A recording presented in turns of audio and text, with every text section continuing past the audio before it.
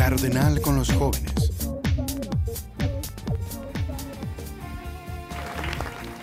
Sean todos bienvenidos a este su programa El Cardenal con los jóvenes y como siempre estamos aquí con mucha alegría dando lo mejor de nosotros de Televida, ese canal especialmente para toda la familia.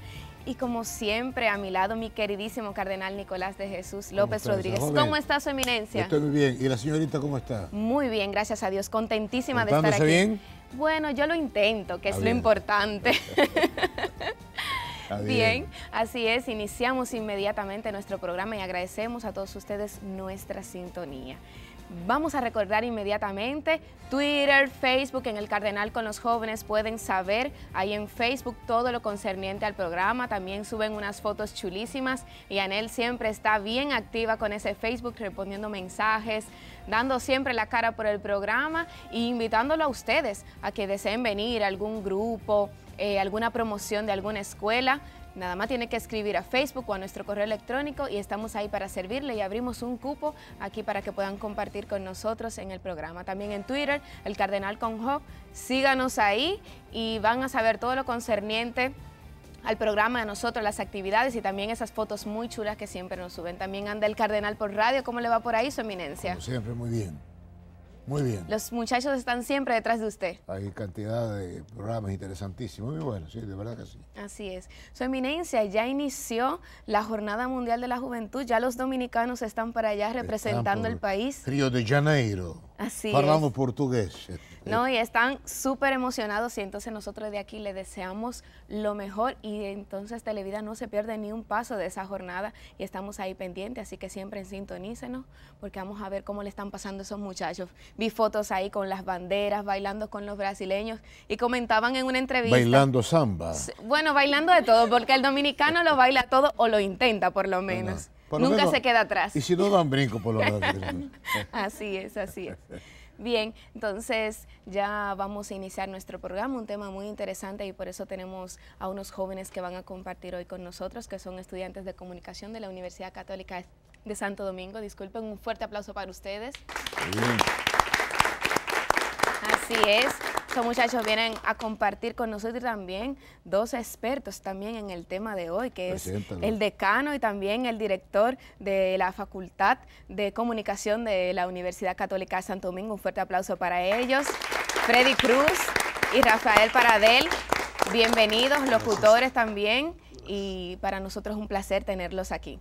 El placer es nuestro. Sí. Muy bien. Claro que sí. Gracias, Cuéntenos un poquito cómo le va por la universidad, qué hay de nuevo, cómo se están portando estos chicos de comunicación. Bueno, nosotros en la Universidad Católica de Santo Domingo, en el caso mío, no soy tan, tan de tanto tiempo atrás como el cardenal, que es el fundador.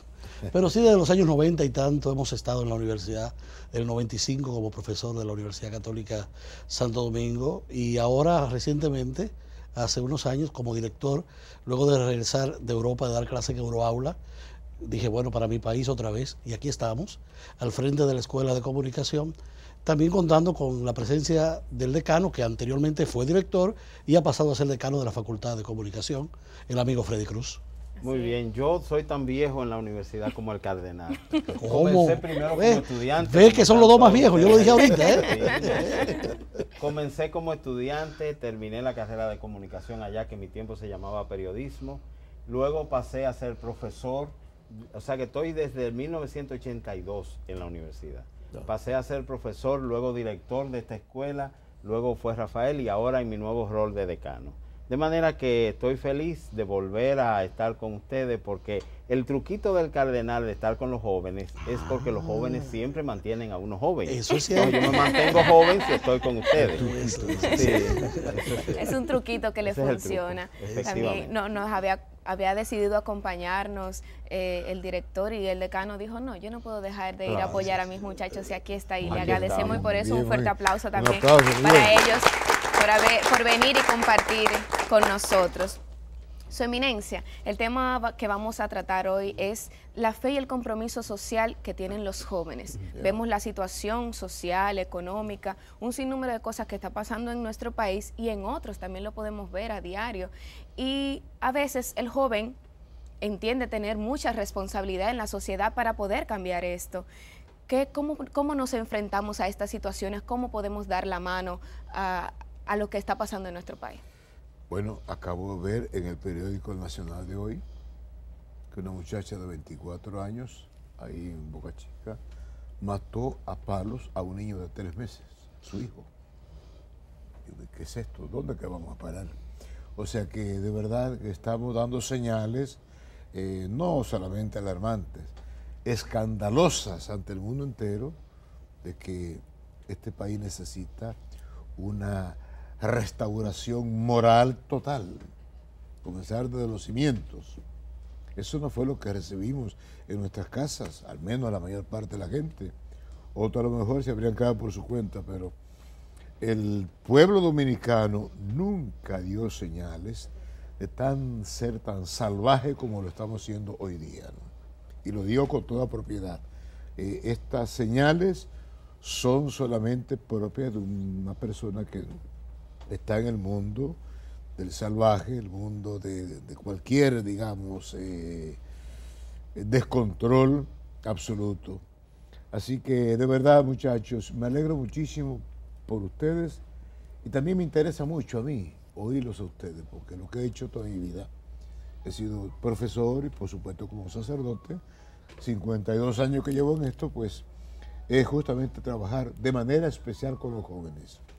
En La Vega, en que tuve eh, también 17 años, trabajé por más de 8 o 10 años allí con la juventud, en toda la diócesis de La Vega. Aquí en Santo Domingo llevo ya 32 años, pues también me siento muy cerca de los jóvenes. Visito constantemente todas las parroquias, que son ya 218. Visito cantidad de colegios, por supuesto, universidades, escuelas, donde quiera, porque me interesa estar con la gente joven, escucharlos a ustedes, que me digan cómo ustedes se sienten. Y por esta razón, frente al tema que hoy nos ocupa, un tema sumamente interesante, del cual ustedes tienen que ser los grandes protagonistas. Así es. Así que los protagonistas tienen, de la ju- juventud de hoy tienen que dar la cara por la República Dominicana. Porque lo que estamos viendo, todas estas señales de descomposición, de barbarie, de salvajismo, esto no se puede justificar de ninguna manera. Así que vamos a conversar sobre eso. Así es. Bien, tanto el señor Paradel como el señor Cruz, también su eminencia, nos van a dar pautas y vamos a ir hablando un poquito. Y también un compromiso que tienen ustedes porque son sus estudiantes, ¿eh? Y ahí le van a bombardear unas cuantas preguntas. Su eminencia siempre dice que está preparado con un chaleco puesto para todo lo que le llegue, así que yo espero que ustedes también. Sí. Ella está muy tranquila porque ella no tiene ningún chaleco Freddy. Así es, No. así es. Bien, no se muevan de sus lugares que seguimos aquí en el Cardenal con los jóvenes. Tenemos Ministerio de Música dentro de un ratito y también la ronda de preguntas por parte de los estudiantes de comunicación. Sigan aquí en el Cardenal con los jóvenes.